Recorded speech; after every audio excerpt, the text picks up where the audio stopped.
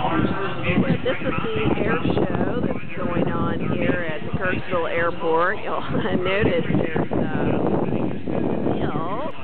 It's probably rain on my lens.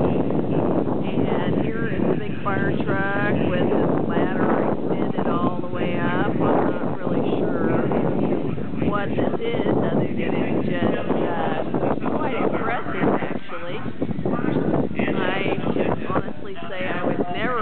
be up there in that basket. I'm not into that kind of stuff, but it is quite impressive.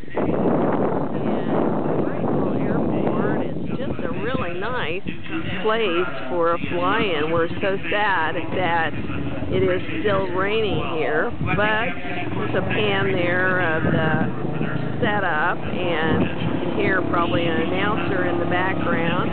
Those little, um, one of those little all-terrain things. And we've got one of the guys from Dave Dacy's team, the air show announcer, down making his uh, announcement. They're still decided because it's kind of going off and on with the weather. You see there's a little break in the clouds right now that uh, it is a possibility that this is still going to. These guys haven't given up hope. They're the most uh, optimistic that I've been around, so we're looking forward to it. We think it's going to happen.